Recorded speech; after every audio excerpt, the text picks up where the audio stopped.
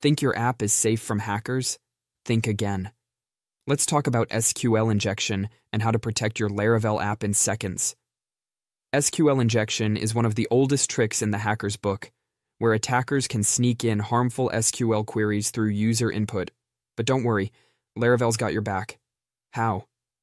It uses Eloquent ORM and Query Builder, which automatically protects you from this attack.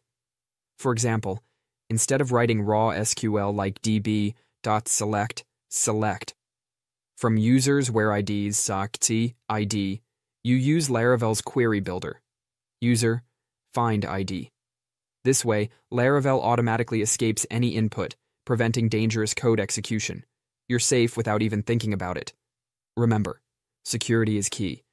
So if you want to keep your Laravel app bulletproof, stick to Eloquent or Query Builder.